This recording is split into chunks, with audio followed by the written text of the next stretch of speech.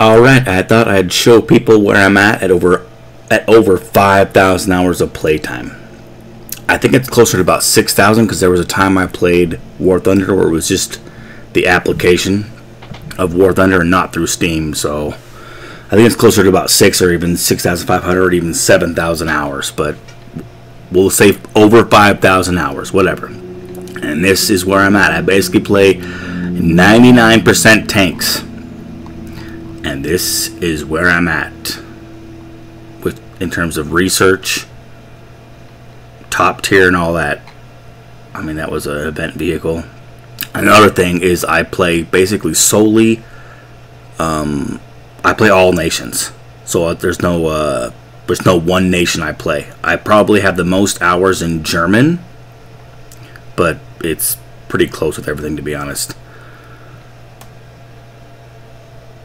I I was trying to unlock all of them, but they're basically releasing more tanks or vehicles faster than I can research, which is crazy.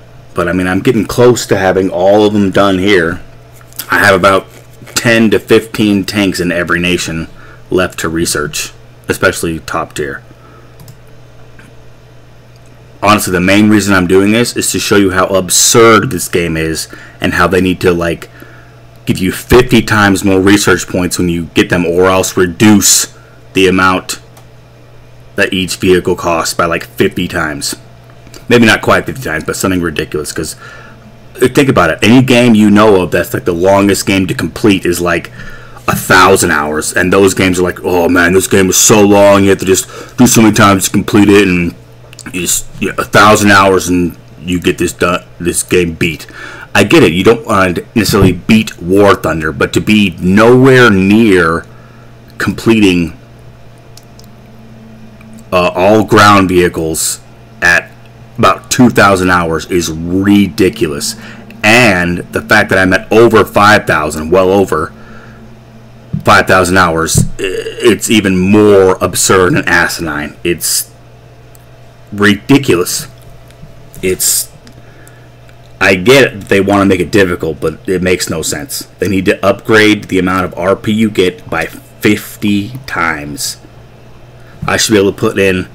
What is that? Would that be like Mm, uh, basically, what I'm saying is, after about 200 hours or so, you should have most of the vehicles researched. And even then, that sounds like a lot.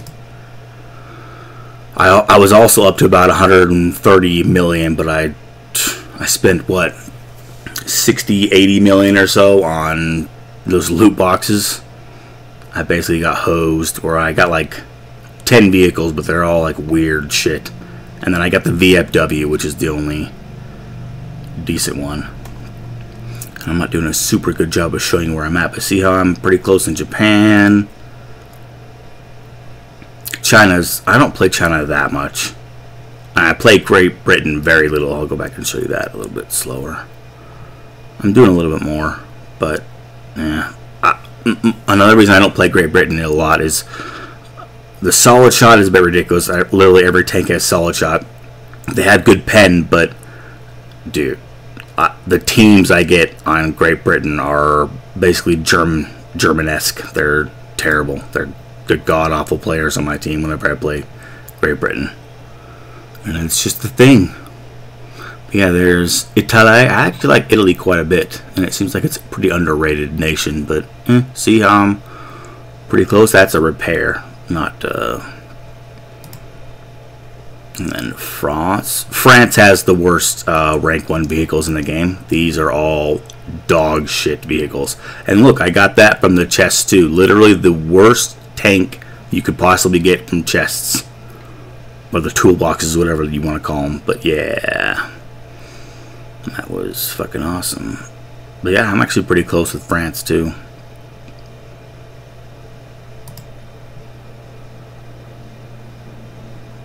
And then here is Sweden. Sweden is really good. I, have trying to been focusing on them a little bit more because their top tier tanks are so good supposedly. Plus they have just good tanks. They have wonky tanks, but they just have really, really good tanks too. Sweden's a very good nation. I'm not sure I'd recommend it as a starter nation. That would either be one of the top three, like USA, Germany, or USSR. And then I'm not very close with Israel.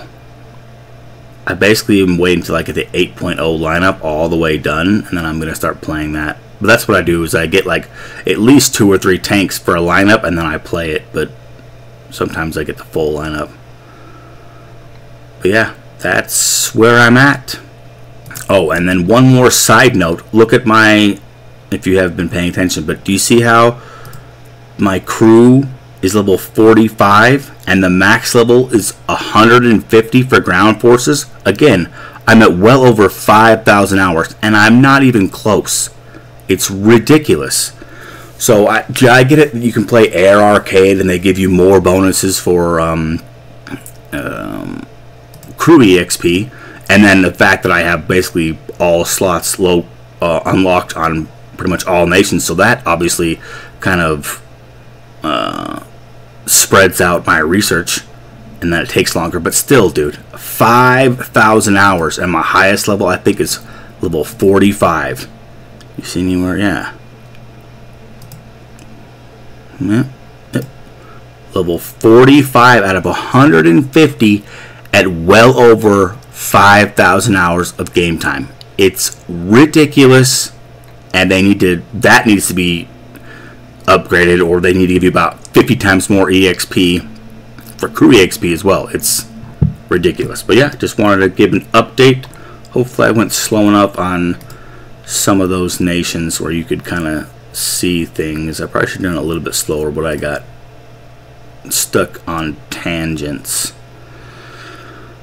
But yeah, it's ridiculous. They definitely need to boost RP and EXP gains by a significant amount. Now, like not, and the European Canadian keeps on going on like, oh, they need to give you a 10% boost. 10% boosts are useless. That's ridiculous. You need a 50% boost or reduction. Even then, that maybe not even. You need at least a 50%, and even then, that's pretty low. So I should have every single tank or 99% uh, ground forces researched at 2,000 hours at the absolute most. So whatever that needs to be in terms of RP gain or RP reduction. It, um, what I'm saying is the reduction of the how much it is to research a vehicle. Either that needs to be significantly lowered by like 500% or they need to increase the amount of research points you accrue or earn in games by about 500%. Again, that's those are loose numbers, but it needs to be something significant because I play this game a lot and I'm not even close. And so anybody that plays it uh, just casually or just every now and then, they're going to have nowhere. They're going to be at like rank three, and they're going to have like four vehicles in each or less. But yeah, just want to give you an update and express my displeasure slash concerns about the ridiculous requirements for this bullshit RP and crew EXP setup.